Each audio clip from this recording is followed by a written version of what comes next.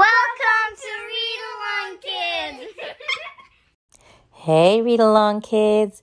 Welcome back to another great adventure.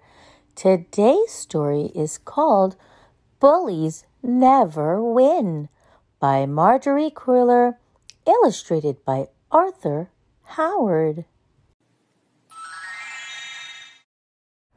Jessica was a worrier. She worried night and day. She worried about her socks not matching and having knobby knees, and losing her berets and not doing well in school. But in Mr. Martin's first grade class, Jessica had a big worry. Brenda Bailey Brenda was perfect. Her bangs were even. Her homework was always right. She wore a new outfit every day, and she scowled when Jessica did something better than she did. If Jessica got all her homework right, Brenda would say, I bet you cheated.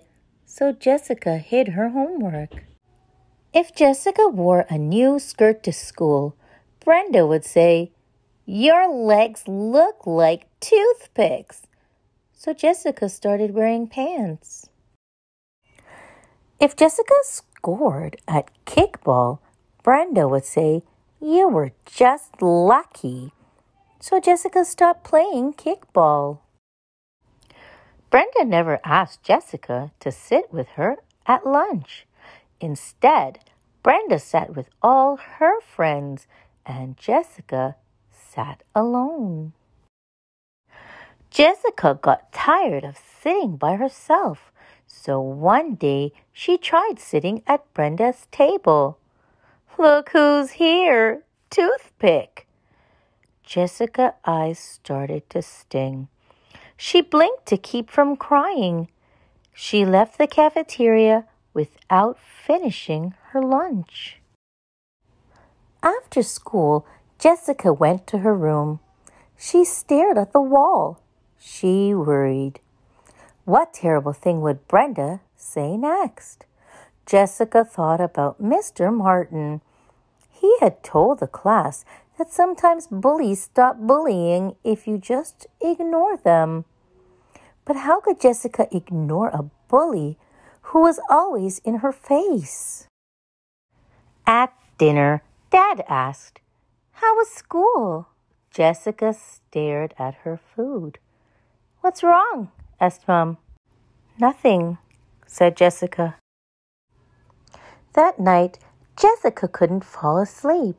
She squeezed her eyes shut and tried to count sheep.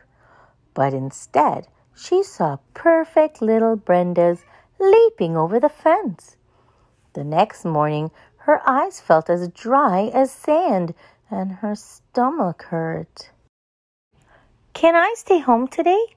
she asked Mom. Her mother felt her forehead. You don't feel hot? I have a stomach ache, said Jessica. I guess you are sick, said Mom. Go back to bed. Immediately, Jessica's stomach felt better.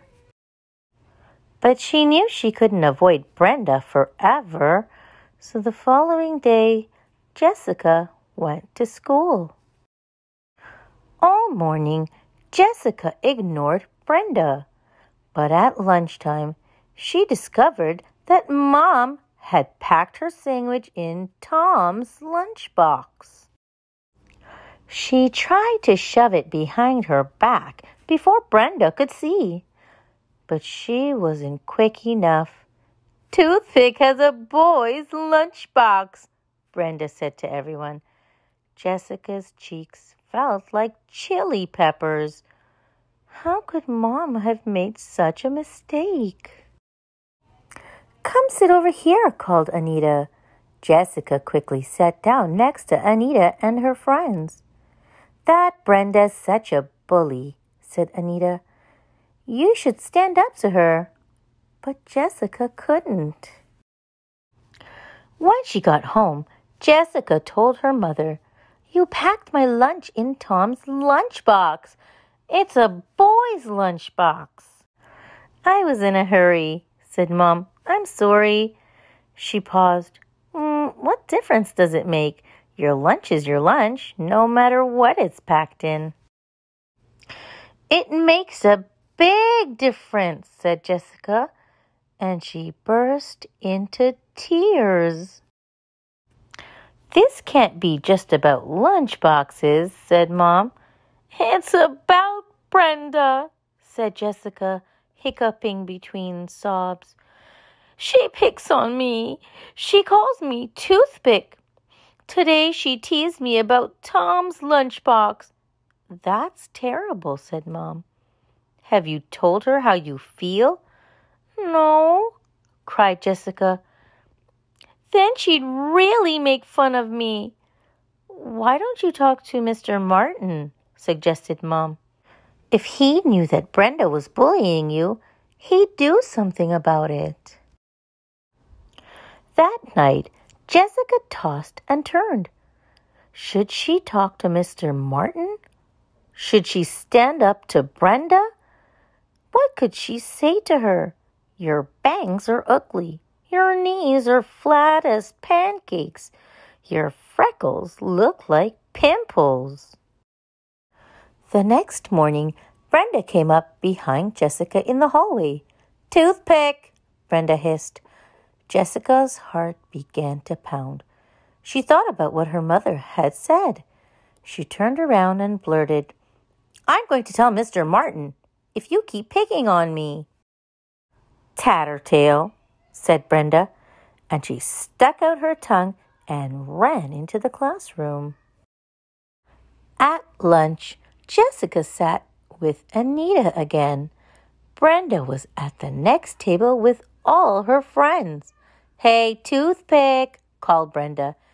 Did you bring your brother's lunchbox again? No wonder you're so skinny.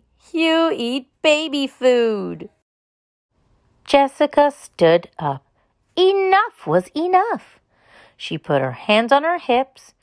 In a loud voice, she said, Toothpicks may be thin, but bullies never win.